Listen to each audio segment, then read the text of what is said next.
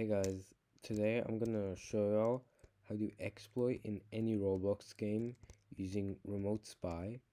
So we're in this uh, crate opening game and currently I have zero cash.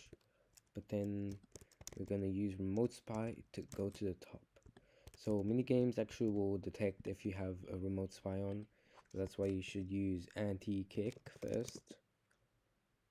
That should be on and now we can open our remote spy. And let's see here. And you can see what the tech what gives us a remote event that we can then exploit to give us a bunch of cash. So maybe oh and just like this we can see our, this cash generator item gives us a remote event. So we can click copy code and then put it into an ex put it into a executor and now let's see our cash.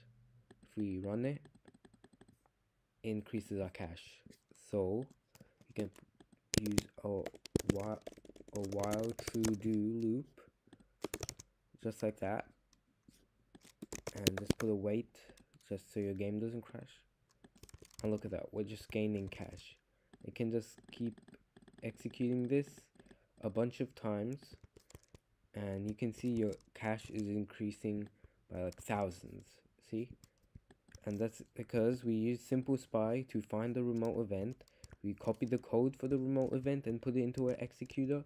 And the executor just runs the remote event so many times. And it gives us so much cash. And you can do this in pretty much so many games with low security.